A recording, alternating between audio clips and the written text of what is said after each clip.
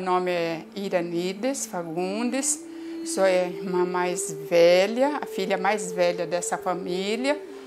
E, e chegamos em Rondonópolis é, logo depois que as irmãs aqui estavam já localizadas, já num ambiente melhor, porque as irmãs tiveram um ranchinho no, no início, a escola.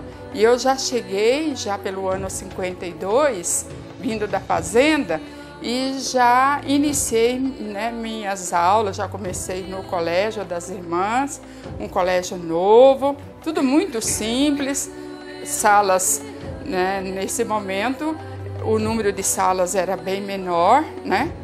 E mas eu fiz os primeiros anos, primeiro ano, segundo ano, quando foi o terceiro ano, meu pai achou por bem que nós fôssemos para o internato de Fátima, São Lourenço, que tinha as irmãs lá e que já era bem conhecido. Nessa época eu fui admirando e gostando, e gostando, né?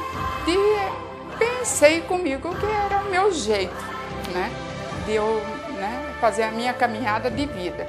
Claro que em Fátima eu fiquei até aquele curso de admissão, que vocês não passaram por isso, que era como que um vestibular para entrar no ginásio, né? Que era muito exigente naquela época. Então nós fazíamos a admissão e depois vínhamos para Rondonópolis, que estava começando o curso de magistério naquela época né? Então eu fiz o magistério, primeiro, é, o primeiro que nós chamávamos primeiro ciclo e o segundo ciclo, né? Que já preparava as pessoas para serem professoras. Eu me lembro até de uma irmã que foi uma das pioneiras nessa, que já veio como irmã lá do sul, mas que ela se tornou a nossa, diríamos assim, a nossa superior aqui, né, irmã Teresa Maragoni. E ela conta muito essa história de Rondonópolis, que ela chegou como adulta, né? E ela diz que o Marechal Rondon, que né, pacificava também os índios e assim por diante, né?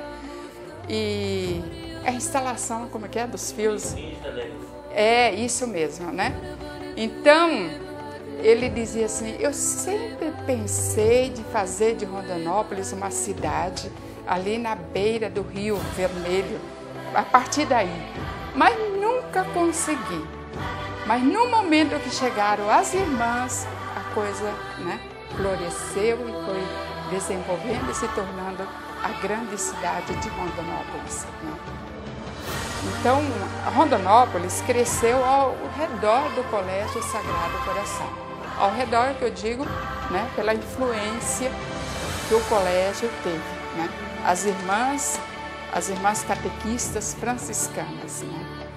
que hoje estamos ali né, no colégio, é, né, Sagrado Coração. Nós temos a presença forte das irmãs ali na Casa Provincial, que é a sede de nossa província, ali bem na frente da Casa do Bispo, né?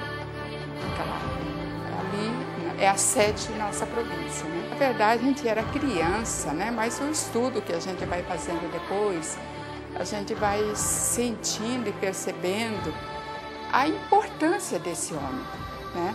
Um alemão que vem para essas regiões missionárias sem nada, saindo do primeiro mundo para cá, né? Mas ele tem uma visão ampla. É, ele se preocupou muito pelas questões religiosas, pela questão da educação, né? Como ele estava aqui já no início, sempre se preocupava em ter um terreno né, para construir uma capela e, ao mesmo tempo, construir umas salas de aula. Né? Não era colégios, mas duas, três salinhas, uma salinha, a escola mista daquela época, né? Tudo estudava tudo junto, primeiro, segundo, terceiro, né? Então ele sempre se preocupou com isso. Um homem dinâmico, né? Ele era jovem, ainda, não jovenzinho, mas já né, com certa maturidade. Não é bem por isso que ele soube fazer desse momento, desse município, uma história bonita para o povo, né? Realmente. Então, pelo interior que ele andava, na nossa região aqui, sempre tinha salas de aula, né? E, certamente ele ia atrás, procurava, descobria jeito, né? Para que, imagina, um alemão que né? Eles tinham muita clareza da formação, da educação. Ele se preocupava de um município que está nascendo, né? E queria implantar, então, essa realidade nova, né, cultural.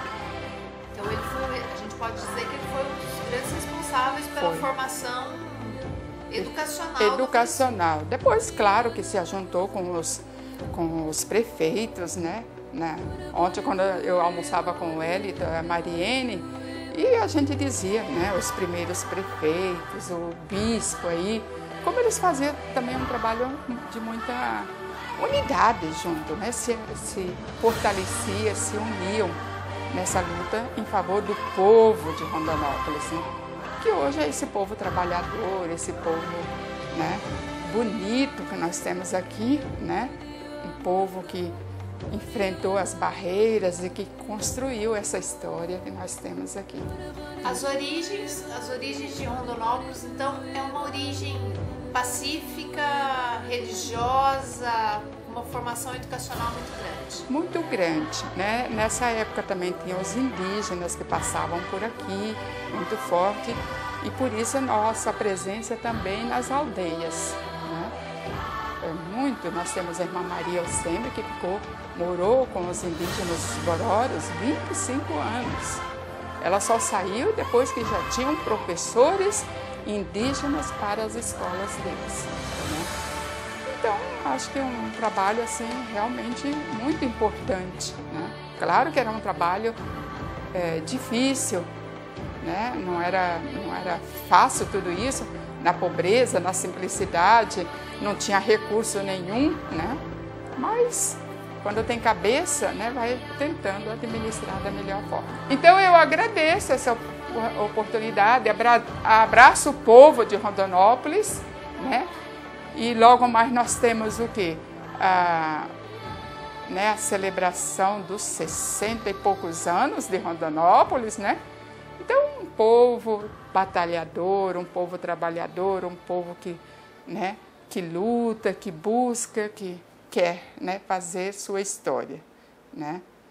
E eu abraço esse povo, que sou filha dessa terra, desse povo, dessa gente.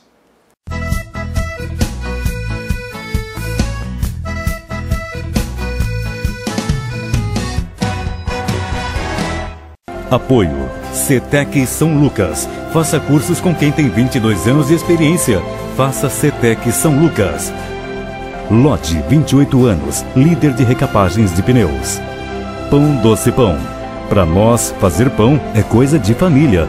Instalação e acessórios automotivos, agora também com recuperação de para-brisas. Mundial Sucção e Solo, protegendo o meio ambiente. 9984 1272.